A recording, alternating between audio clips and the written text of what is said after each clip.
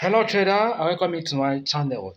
In this video I'll be teaching you how to resolve authorization failed for those that for those that are using XM broker or other brokers. So if you watch the video to the end, you you find your solution, you find the solution why your MT5 keep writing authorization fail whenever you want to log into your MetaTrader 5. So first of all, if you want to log in, make sure you type, go to find broker and type. You know how to get to this particular place. Type the name of your broker Besides, those are using XM broker. Type it first. Now, let me say I want to type my broker XM. Then allow you to load so you'll be sure that you have network, good network. Now, look at it. We now see XM broker. Just, don't just go and click XM broker because it's there. Now that you have XM broker, you can go ahead and click it, and then it will take us to this particular place. Then another one you need to know about is, is your login ID. Your login ID needs to be correct don't go and put the wrong one. To get your correct login id just go to your the website. This is your login id for the real account. So this is xm broker website. Then for demo account this is the login id this one here. So make sure you're copying the correct one for each one you want to log in for.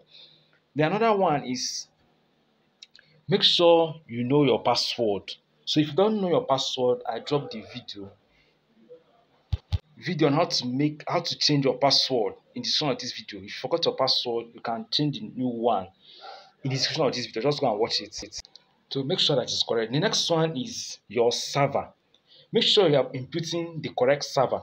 You know, we have different server here. We have XM Global MT55, XM Global MT52. There are many servers here. So to get the correct server, just go to the websites and then let me show you the server and how the server looks like. So for the server, look look at the server here. Then if you press this scroll down menu, look at the server here. The server for this particular one is XM Global MT52. I think this is the real account, right? Yeah, it's the real account. So that's the server. Make sure you're inputting the correct server. So for the demo account, go to the drawdown menu again, and then the demo account is MT55, XM Global MT55.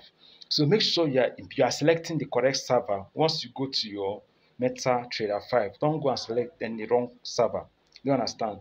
Then make sure the password is correct, just as I have said before. If this kind of thing still persists, you can uninstall your MT5 and install the new one.